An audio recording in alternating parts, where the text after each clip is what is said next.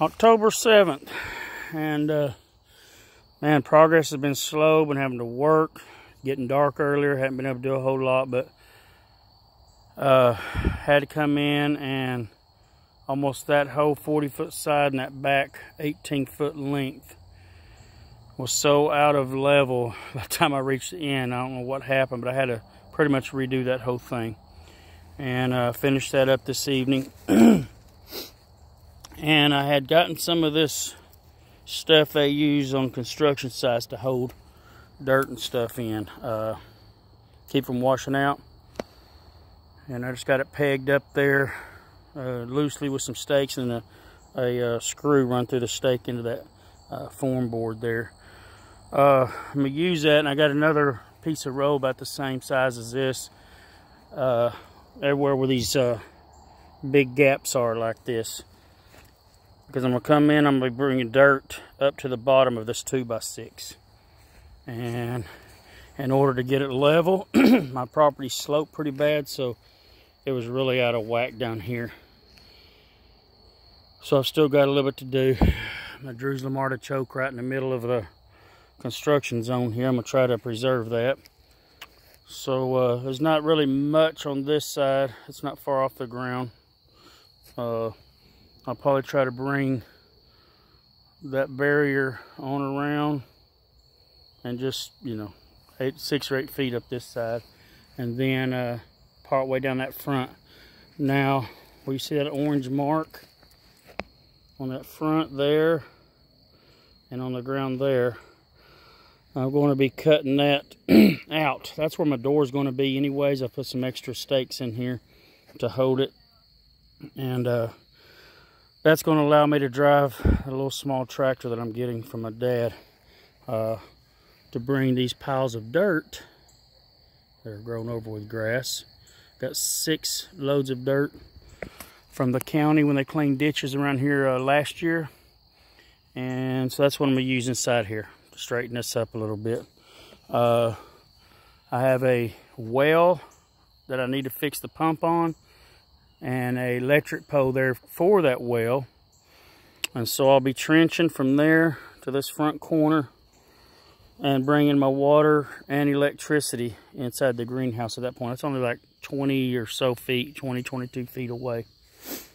So uh, I also went and picked up all this two and seven eighths inch oil fill pipe. Had the guy cut it to 10 foot lengths for me uh, 18 of them. That cost me quite a bit, 240 something dollars for that uh, to make my legs. So they'll be starting in the front corner and then every five feet down the side to allow me to put my trusses on uh, on top of them.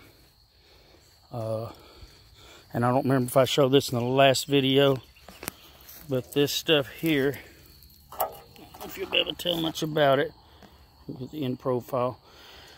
This is aluminum. This come off of another style of greenhouse, but this is going to be like my top board where the bow comes over to meet the wall.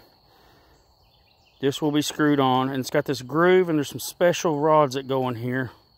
Uh, you pull your roof plastic over past this and snap them rods, and it keeps it tight, and that's what uh, attaches your plastic. And this also also acts as a purlin. These are in 12 foot lengths. Ouch. Mm, hit my leg on one of the wooden stakes I left sticking out. Uh, 12 foot lengths and so I'll, I'll, have a few of them down each side. I'll join them as tight as I can and probably put some duct tape so that whenever I snap the plastic in there, uh, you know, duct tape to cover the crack where it won't cut the plastic over time. Uh, so anyways, I have I have these old windows here. They're laying sideways, but excuse me. I'm going to build, I got four of them and I put uh, one on top and then one under. I'm gonna make frames for two doors and put two of them windows in each door. Uh, and uh, use that as a double door in the front of my greenhouse. I have the arched windows right there. I'll be putting a couple of them on either side of the door in the front of the greenhouse. Uh, that is the north side, so I'll probably, I'm not worried about putting plastic on that end. I'm, I'm probably going to uh, face that whole end out around the windows and doors with uh, wood of some kind. Uh, we'll see. I've got some uh, fence pickets for six foot fence that I may use to fill in that wall. Uh, I've got some scrap plywood I may put on under it and then put that on top of it for looks. Put some stain on it, look just fine. Uh, facing the road for me. So anyways, I know I have, uh,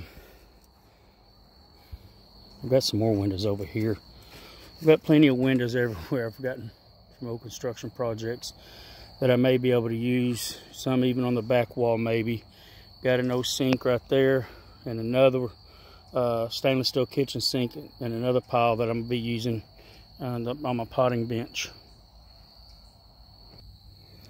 So I know I've waited kind of late for this and the cold weather's catching up to me. I'm probably going to, to pile a bunch of stuff inside my house, back porch, wrap it in plastic or something uh, until I can get this done. Hopefully this little cool snap will give us some warmer weather uh, for a little while, just for the sake of me finishing.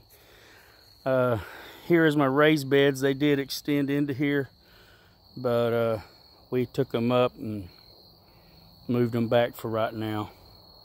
Uh, just trashy looking right now, but uh, that's, let me step back here. There's some of them wood pickets I was going to use I was talking about. So looking back that way, the door will be on the far end. This will be the back side. And uh, anyways, that's not much progress for the last, what, week or two? But that's just how it goes sometimes.